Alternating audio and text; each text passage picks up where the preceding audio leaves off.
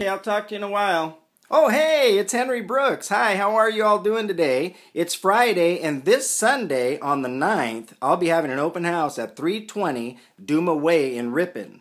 Now, these are original owners that are selling this home, and this home is a beauty. You need to come see it if you have the time. Again, this Sunday, the 9th, from noon to 3:30 p.m. And don't forget to set your clocks forward on Saturday because I ain't going to be there too early on Sunday. I'll be there right about noon. So I hope to see you all there and have a great day. Bye bye now.